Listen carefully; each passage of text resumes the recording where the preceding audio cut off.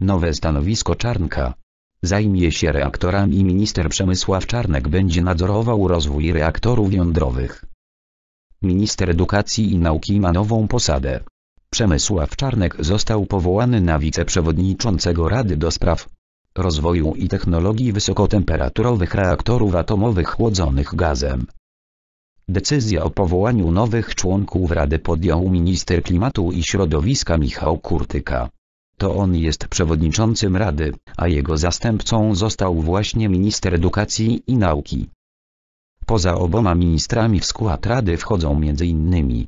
Wojciech Murdzek z Main, sekretarz stanu i pełnomocnik rządu do spraw odnawialnych źródeł energii Ireneusz Zyska, podsekretarz stanu, główny geolog kraju Piotr Dziadzio, przedstawiciel Narodowego Centrum Badań Jądrowych profesor Krzysztof Kurek, przedstawiciel Narodowego Funduszu Ochrony Środowiska i Gospodarki Wodnej profesor Maciej Chorowski, przedstawiciel Narodowego Centrum Badań i Rozwoju dr Wojciech Kamieniecki, przedstawiciel Polskiej Agencji Kosmicznej profesor Grzegorz Wrochna.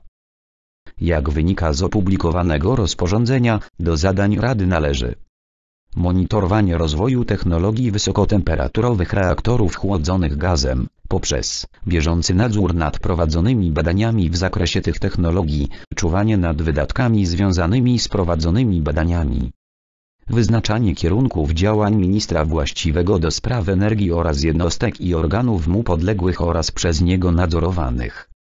Opracowywanie rekomendacji w zakresie promowania technologii tychże reaktorów. Wysokotemperaturowe reaktory chłodzone gazem. Co to? Reaktory te są najnowszym rozwiązaniem dostępnym na rynku. Gazem wykorzystywanym w chłodzeniu jest hel. Dla porównania w Czarnobylu do chłodzenia wykorzystywano wodę. W Polsce od lat mówi się o budowie elektrowni atomowej. Trwają prace nad wyborem lokalizacji i technologii. Jak informuje na swoich stronach Ministerstwo Klimatu i Środowiska, wdrożenie technologii wysokotemperaturowych reaktorów chłodzonych gazem jako źródła ciepła przemysłowego np. w branży chemicznej, istotnie zmniejszyłoby zapotrzebowanie Polski na gaz ziemny i obniżyło poziom emisji CO2.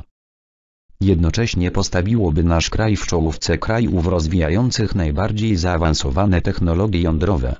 Projekt wdrożenia reaktorów wysokotemperaturowych został ujęty w strategii odpowiedzialnego rozwoju i jest realizowany niezależnie od programu budowy elektrowni jądrowych, czytamy. Reaktory HTGR mogłyby zastąpić wyeksploatowane kotły gazowe czy węglowe.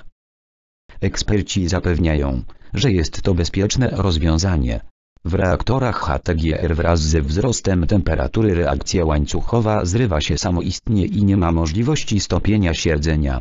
Resort Klimatu i Środowiska informuje, że w związku z tym możliwe jest zbudowanie takiego reaktora w bezpośredniej bliskości instalacji przemysłowych czy nawet siedzib ludzkich.